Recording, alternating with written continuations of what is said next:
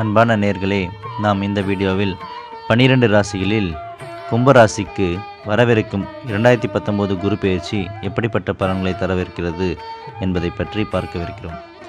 வாக்கிய பஞ்சாங்கப்படி வருகின்ற இருபத்தி ஒன்பதாம் தேதி அக்டோபர் மாதம் இரண்டாயிரத்தி பத்தொம்போது அன்று செவ்வாய் வீடான விருச்சகத்திலிருந்து குருவின் சொந்த வீடுகளில் ஒன்றான தனுசு ராசிக்கு இடம்பெறுகிறார் குரு பகவான். குரு பெயர்ச்சியானதும் மூன்று ஐந்து ஏழு ஆகிய இடங்களை பார்க்கிறார். வெற்றிகள் ஸ்தானம் புத்திரஸ்தானம் கலத்திரஸ்தானம் ஆகிய மூன்று இடங்களும் புனிதமடைந்து நல்ல பலன்கள் உங்களுக்கு வந்து சேரப்போகின்றது. மூன்றினை குருதான் பார்த்தால் முன்னேற்றம் வந்து சேரும் என்று சோ சாஸ்திரம் சொல்கின்றது.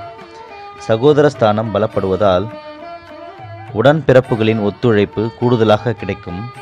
உங்களை விட்டு விலகிய சகோதரர்கள் தானாக வந்து சேருவர். வழக்குகளில் திசை திருப்பம் ஏற்படும். பூர்வீக சொத்துக்களில் ஏற்பட்ட பஞ்சாயத்துகள் நல்ல முடிவிற்கு வரும். பாகப்பிரிவினைகள் சுமூகமாக முடியும். தொழில் முன்னேற்றம் உண்டு. கூட்டு தொழிலில் இணைந்திருந்த சகோதரர்கள் இனி விலகிக் கொள்வர்.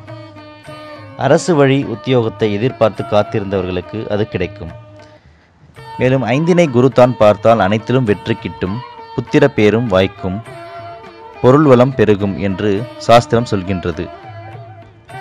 அந்த அடிப்படையில் குழந்தைகள் நலனில் அதிக அக்கறை எடுத்துக்கொள்ளும் நேரம் இது.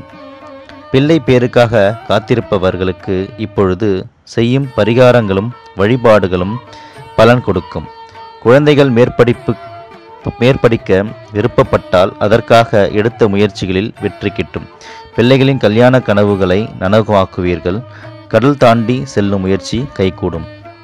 மேலும் ஏழினை குரு தான் பார்த்தால் இல்லறம் இனிதாய் வாய்க்கும் என்று ஜோதிட சாஸ்திரம் கூறுகின்றது.